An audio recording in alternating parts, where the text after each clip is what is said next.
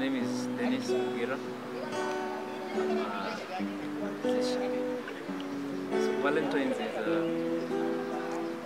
a day where people get to show the people they love how much they love them, you know, uh, to appreciate them in a nice way. I mean, you appreciate them every day, but Valentine's is that day you do that extra mile, you know, maybe buy a gift, do something special for that special someone.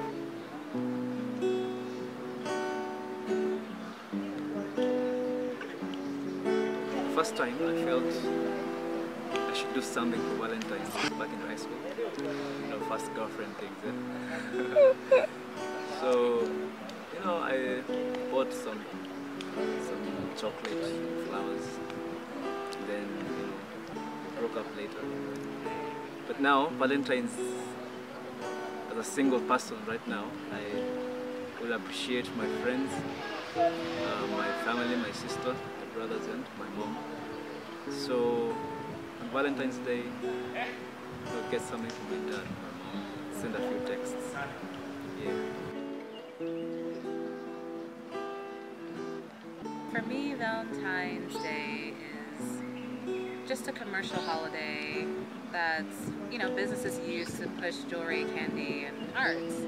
Um, but that's not necessarily a bad thing because it can be really cute receiving small gifts here and there, knowing that your loved one or your friends or whoever the hell cares about you and you know is willing to buy you a small gift. But at the end of the day, you know, love is should be 365 days a year. So, you know, your Valentine is your Valentine every day, and if you're only showing them love on Valentine's Day, there's an issue. So yeah, that's my thought.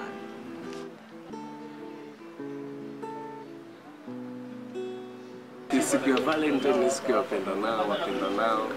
mme mke, au sio? So itakuwa ni sherehe, wenyewe wanakuja pamoja, wana wanakumbushana kuhusu mapenzi yao. Siku labda kuna wengine wataenda mahotelini huko wakajivinjari. So mimi pia mi nitakuwa mtaani, nitakuwa na mrembo wangu, sio? Tutakuwa tunakula bata letu nyumbani, kwa wale ambao watakuwa wanaenda kwa ma mahoteli nini na nini marestora, au tunatakia kila la heri. So hii ni siku ya wapendanao, wapendanao yani wanakuja wanakumbushana kuhusu mapenzi yao, labda kuna vitu walikuwa hawafanyiani, lakini hii siku itakuwa special ya mtu kama haya. So hii siku ya Valentine tuishini kwa upendo, amani, zidi kumwomba Mungu mapenzi yazidi kuendelea mpaka mwaka ujao ikifika time kama hii, tunazidi kuishi vyema, manake kuna misukosuko katika mapenzi.